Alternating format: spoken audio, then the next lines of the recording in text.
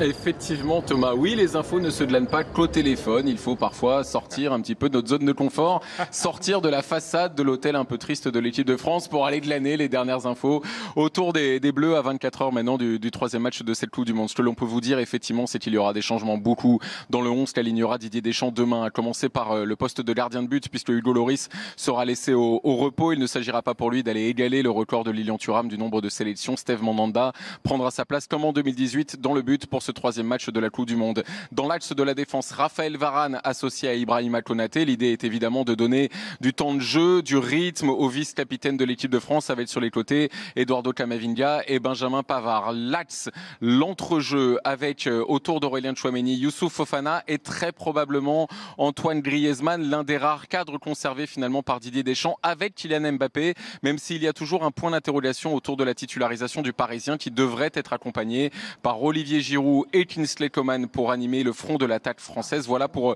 les grosses tendances. On est certain à 90% du 11 qu'alignera Didier Deschamps, qui n'a pas voulu se mouiller en conférence de presse. Il n'aime pas trop que son 11 soit dévoilé 24 heures avant et que ce soit autant d'informations données à l'adversaire.